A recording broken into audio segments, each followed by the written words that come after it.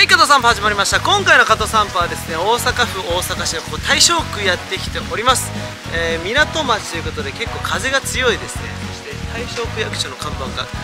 可愛いちっちゃい。早速行きましょうか。レッツゴー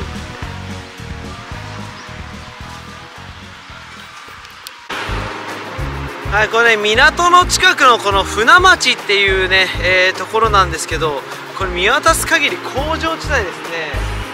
はい。でねこっちが木津川の渡船場ということで多分ねあの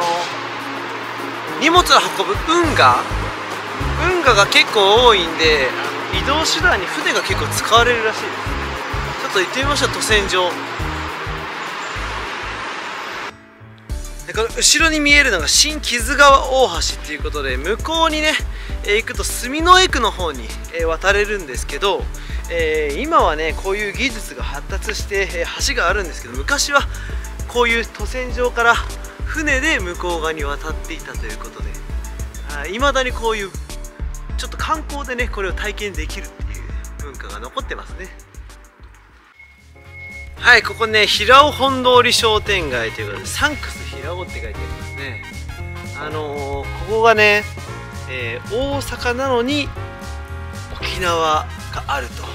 あ言われております。リトル沖縄がある場所ということで。はい早速行きましょう。このシーサーのね絵がいっぱい描いてあるんだよね。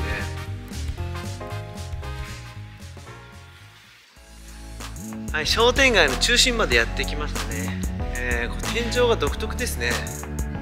どうやらあの「純と愛」っていうね、えー昔やってた朝ドラの、えー舞台ということで、えー結構にぎわってるらしいです。あの今日平日なんですけど土日はね昼から出店が出て串なんか食べたりとかして飲み歩けるらしいです。はいということで大正区散歩させていただきました、えーシャッターにもねシーサーが書いてありますね、